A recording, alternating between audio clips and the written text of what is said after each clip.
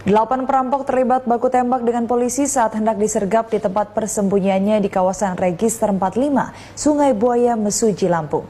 Tiga di antaranya berhasil dilumpuhkan beserta barang bukti satu motor hasil kejahatan mereka.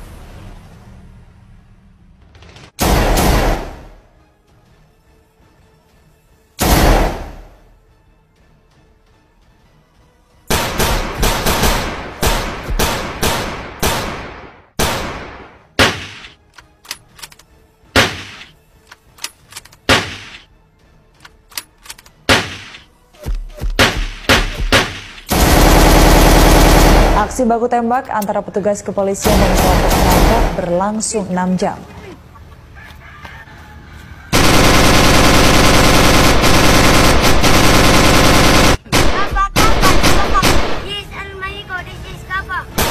Kawasan perampok bersenjata yang berhasil dilumpuhkan yakni Edi Sito, Dedi, dan Abu Warga.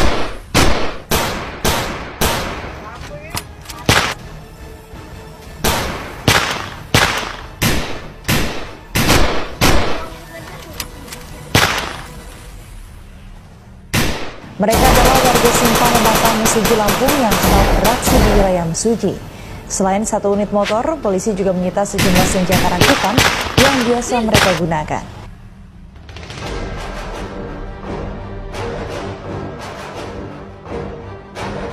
Ketiga pelaku kawanan perampok ini langsung digelandang ke Mapolres Mesuji Lampung. Anggota kepolisian juga masih terus melakukan pengejaran terhadap lima kawanan perampok yang berhasil melarikan diri.